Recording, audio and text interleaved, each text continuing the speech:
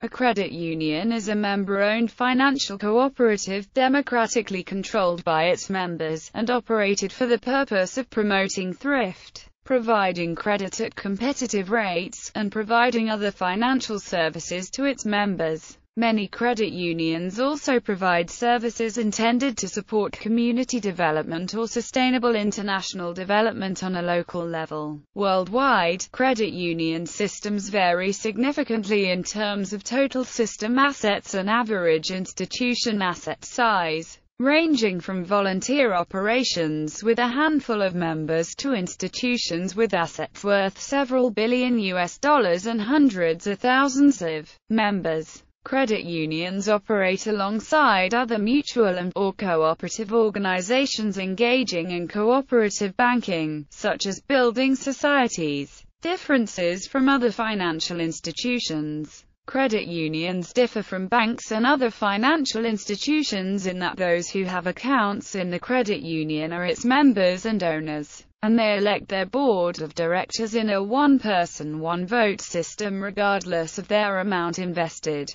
Credit unions see themselves as different from mainstream banks, with a mission to be community-oriented and serve people, not profit. Credit unions offer many of the same financial services as banks, but often using a different terminology. Common services include share accounts, share draft accounts, credit cards, share term certificates, and online banking. Normally, only a member of a credit union may deposit or borrow money. Surveys of customers at banks and credit unions have consistently shown a significantly higher customer satisfaction rate with the quality of service at credit unions. Credit unions have historically claimed to provide superior member service and to be committed to helping members improve their financial situation. In the context of financial inclusion credit unions claim to provide a broader range of loan and savings products at a much cheaper cost to their members than do most microfinance institutions.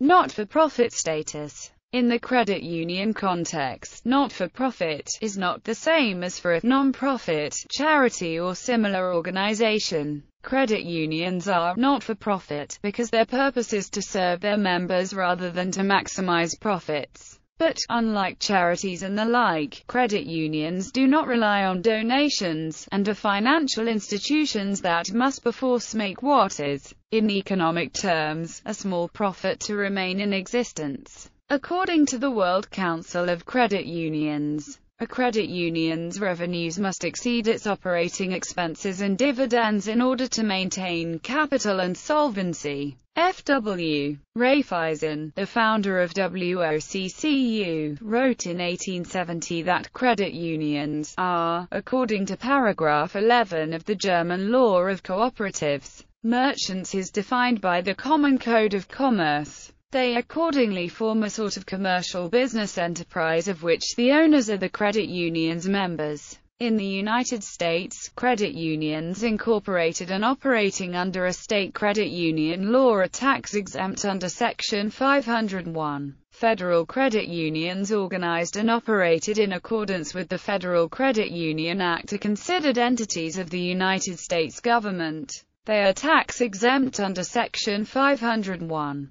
Global presence Based on data from the World Council, at the end of 2010 there were 52,945 credit unions in 100 countries around the world. Collectively they served 188 million members and oversaw $1.5 trillion in assets. The World Council does not include data from cooperative banks, so, for example, some countries generally seen as the pioneers of credit unionism, such as Germany, France, the Netherlands and Italy, are not always included in their data. The European Association of Cooperative Banks reported 38 million members in those four countries at the end of 2010. The countries with the most credit union activity are highly diverse.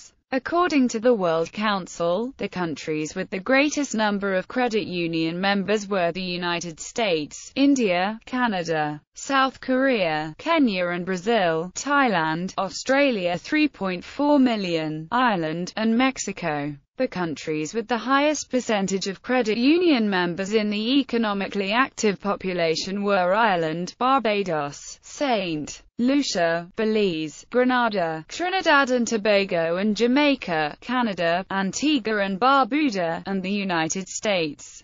Several African and Latin American countries also had high credit union membership rates, as did Australia. The average percentage for all countries considered in the report was 7.5%. Credit unions were launched in Poland in 1992. As of 2012 update, there were 2,000 credit union branches there with 2.2 million members. History Modern credit union history dates from 1852, when Franz Hermann Schulze of Delitzsch consolidated the learning from two pilot projects, one in Eilenburg and the other in Delitzsch in the Kingdom of Saxony into what are generally recognized as the first credit unions in the world. He went on to develop a highly successful urban credit union system. In 1864 Friedrich Wilhelm Raiffeisen founded the first rural credit union in Heddesdorf in Germany. By the time of Raiffeisen's death in 1888, credit unions had spread to Italy, France, the Netherlands, England, Austria, and other nations.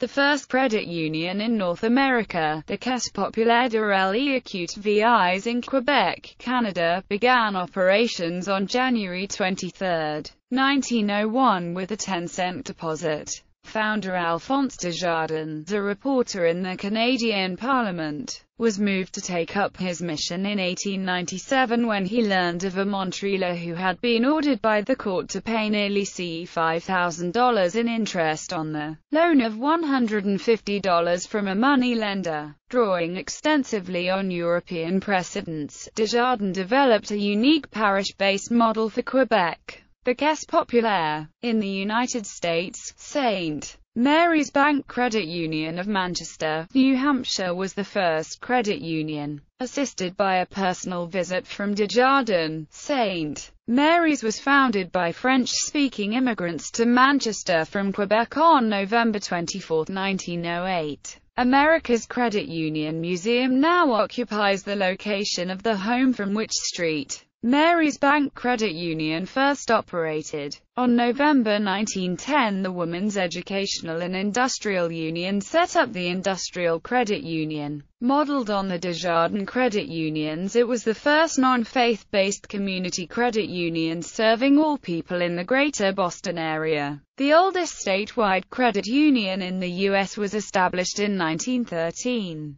The St. Mary's Credit Union serves any resident of the Commonwealth of Massachusetts. After being promoted by the Catholic Church in the 1940s to assist the poor in Latin America, credit unions expanded rapidly during the 1950s and 1960s, especially in Bolivia, Costa Rica, the Dominican Republic, Honduras and Peru. The Regional Confederation of Latin American Credit Unions was formed and with funding by the Inter-American Development Bank credit unions in the regions grew rapidly throughout the 1970s and into the early 1980s. In 1988 COLAC credit unions represented 4 million members across 17 countries with a loan portfolio of circa half a billion US dollars. However, from the late 1970s onwards many Latin American credit unions struggled with inflation, stagnating membership and serious loan recovery problems. In the 1980s donor agencies such as USAID attempted to rehabilitate Latin American credit unions by providing technical assistance and focusing credit unions' efforts on mobilizing deposits from the local population. In 1987 the regional financial crisis caused a run on credit unions.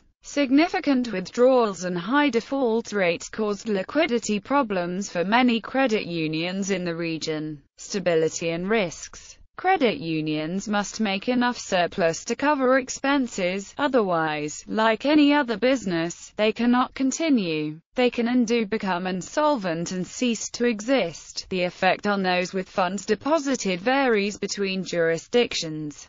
Several factors combine to put credit unions at risk of failure. They may not be allowed to lend enough money to enough people who are willing and able to repay because of their rules on responsible lending. When debtors get into trouble, they will often repay liabilities such as payday loans with high interest rates first, leaving the credit unions until last and in some cases courts may, after ruling against debtors, leniently allow them to pay off their debts with very small payments, sometimes free of interest, over a long period. Corporate credit unions Credit unions as such provide service only to individual consumers. Corporate credit unions provide service to credit unions, with operational support, funds clearing tasks, and product and service delivery leagues and associations. Credit unions often form cooperatives among themselves to provide services to members.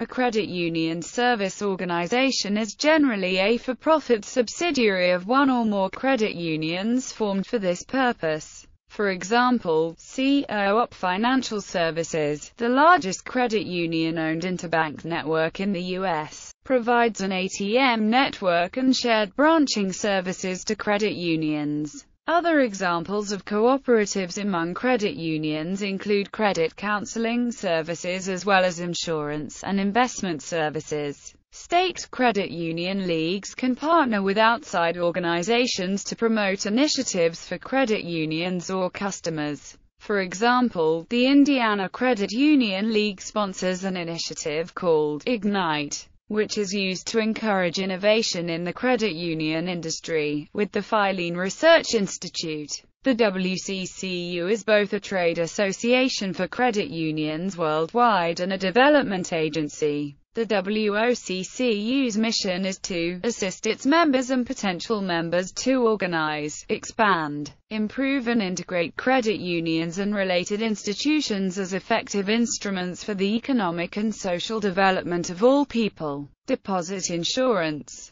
in the United States, federal credit unions are chartered by and overseen by the National Credit Union Administration, which also provides deposit insurance similar to the manner in which the Federal Deposit Insurance Corporation provides deposit insurance to banks. State-chartered credit unions are overseen by the state's Financial Regulation Agency, and may, but are not required to obtain deposit insurance. Because of problems with bank failures in the past, no state provides deposit insurance, and as such there are two primary sources for depository insurance, the NCUA and American Share Insurance, a private insurer based in Ohio. In Canada, for credit union savings in Ontario, you are covered for up to $100,000 on eligible deposits by the Deposit Insurance Corp. of Ontario.